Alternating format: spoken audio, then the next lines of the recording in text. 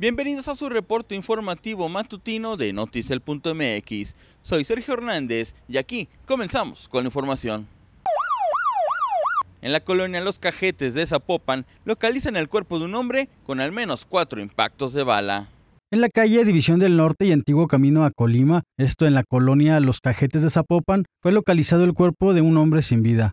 Fueron vecinos los que escucharon las detonaciones e informaron a la Policía Municipal de Zapopan, cuyos elementos al arribar encontraron el cuerpo sobre la banqueta. Se informó que el hombre presentaba al menos cuatro impactos de bala y no contaba con identificaciones. Para Noticiel.mx, David González.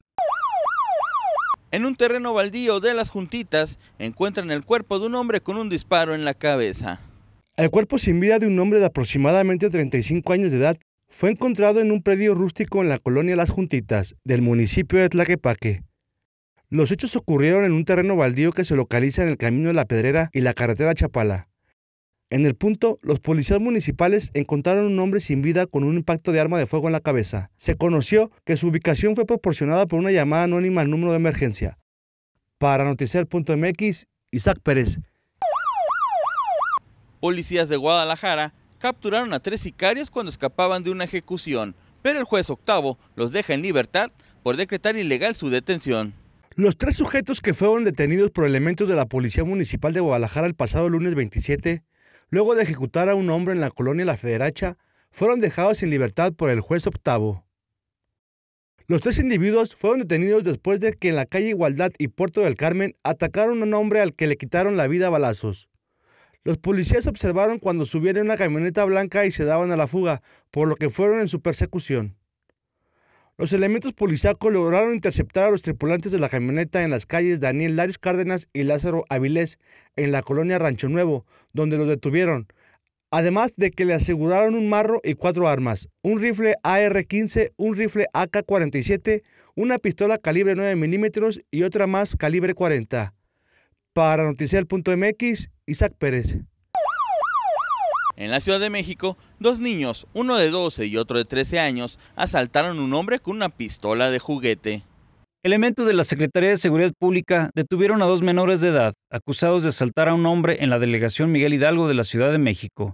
Los menores, identificados como Ronaldo y Damián, de 12 y 13 años, amagaron a su víctima con una pistola de juguete. Policías capitalinos frustraron el robo y los detuvieron, para posteriormente ponerlos a disposición de la Procuraduría General de Justicia Capitalina, que determinará su situación legal. Para Noticel.mx, Luis Enrique Sánchez. En los deportes, con tres duelos, este viernes arranca la jornada 8 de la Apertura 2018 de la Liga MX.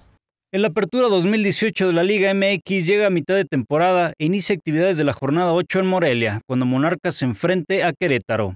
César Ramos Palazuelo será el colegiado encargado de arbitrar este viernes a las 19 horas en el Estadio Morelos. Por su parte, a las 21 horas en el Estadio Cuauhtémoc, Puebla intentará retomar la senda de la victoria cuando reciba a Monterrey, uno de los mejores equipos del certamen. Y se cierra la jornada de viernes con un duelo de sotaneros a las 21.06 horas en el Estadio Caliente, cuando Cholo sea anfitrión del Necaxa. Para Noticel.mx, Luis Enrique Sánchez. Usain Bolt debuta como futbolista en partido amistoso con el Central Coast Mariners de Australia. Fue volante izquierdo y usó el 95 como referencia a su récord en los 100 metros planos.